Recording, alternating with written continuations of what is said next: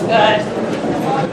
At least I can hear. Real quick, you guys, not too long, right here, don't, right here now. That's the thing. Floyd. How's it going? Take a few pictures, buddy. There we go. Oh, nice. Oh, it matches. Floyd, will be right here? You didn't even know and it matches the outfit.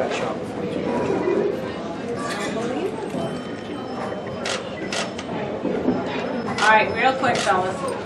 Sorry, quick, quick, quick question for, for the, for the Germans. You as a promoter, who wins the guy in the fight against uh, uh, Klitschko and, and Fury? Um, I don't really know. You know, my focus is Mayweather Promotions. Uh, I try to try to focus on our fighters. I try to focus on taking our fighters to the next level. No, Uh, good luck. Good luck to the best men.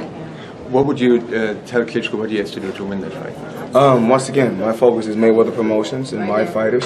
We are the past, the present, and the future of sports and entertainment. Right here. Thank you, Floyd, what does a Lifetime Achievement Award mean to Floyd Mayweather? 49 and 0, 26 knockouts. Uh, I, I, you know, I, I can't really say. You know, words can, you know, can't explain. I mean, you know, when you reach, you know, reach such a level, and you know, you touch so many different people, You're embraced by so many different people, you get love from so many different people. Only thing you can do is be appreciative and very, very thankful. How important is it to get these recognitions, Floyd, not because of you know what you've done, but for other people to see it, also what you've been able to accomplish? Um, and you know, it's just a dream come true. You know, only thing I did was kept believing, kept dreaming, and um, someday it'll be another fighter standing, you know, in the same place I'm standing in right now. And uh, you have you have to embrace it with open arms and be appreciative. Do you ever just sit back and get you know just look at your life and just be amazed at what you're able to do I mean, and of how course, lucky you are? Oh, well, the main thing I think about my career every time, every day when I wake up, I make smart investments. You know, a lot of times, you know, you hear fighters saying, "Well, uh, he's the best and he's the best." Well, when history books is written, you know, I, I want to be known as the best businessman on the outside of the ring.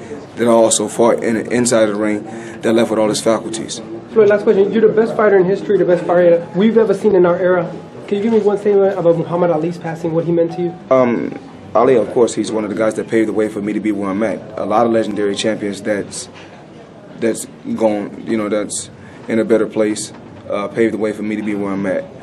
I mean, uh, when you think about so many different legends, all I did every day was think about those different legends and, and try to work hard, you know, to to get to a high plateau. How important is it to, to win these three uh, championships uh, with the BWAA? How do you feel with the great company of Ali, uh, Evander Holyfield, and the greats? Um, I just want to thank all the writers and everyone that have supported me throughout a 20-year career. I think I'm just blessed and I'm very appreciative. Thank Thank you. you. And then Uncle Roger and your dad are part of this too? Right here, just a real quick picture by yourself. Thank you, Floyd. Thanks, Kelly. You're welcome.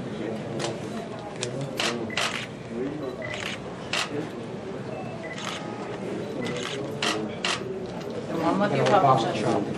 One with your publicist.